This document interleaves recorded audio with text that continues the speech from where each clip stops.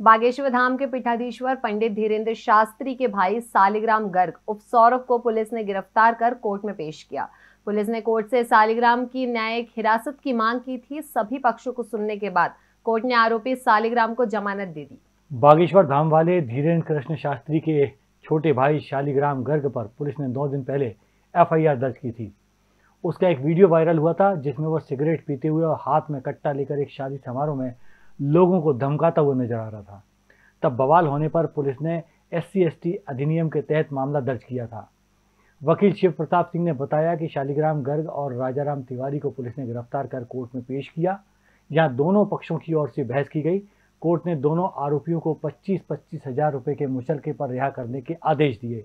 अदालत में दलील रखी गई थी कि जो वीडियो बताया गया है, उसमें कट्टे की बात कही जा रही है, लेकिन वह स्पष्ट रूप से दिखाई नहीं दे रहा है। दूसरे वीडियो पर तब तक विश्वास नहीं किया जा सकता जब तक कि उसकी स्पष्ट रूप से जाँच नहीं हो जाती। जिला लोक अभियोजक अधिकारी प्रवेश अहिरवार ने बताया, शालिग्राम गर्ग और राजाराम तिवारी पर बमीठा थाने में केस दर्ज था। दोनों आरोपियों को कोर्ट में पेश किया गया।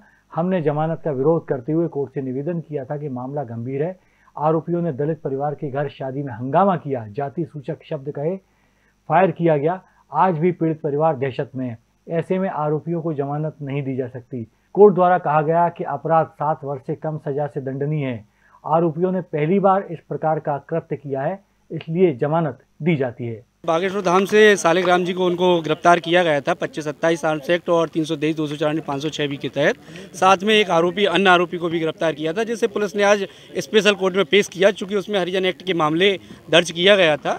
और उसके तहत यहाँ पर सुनवाई हुई। सी पे सी एल पटेल साहब वकील साहब थे उन्होंने उसमें अपनी बहस की और इस उपरांत न्यायालय द्वारा आदेश पारित की पच्चीस पच्चीस हज़ार रुपये की जमानत का आदेश पारित किया गया है।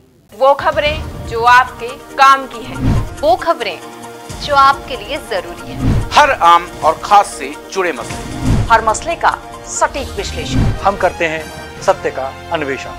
दखल न्यूज़। आपके हक में।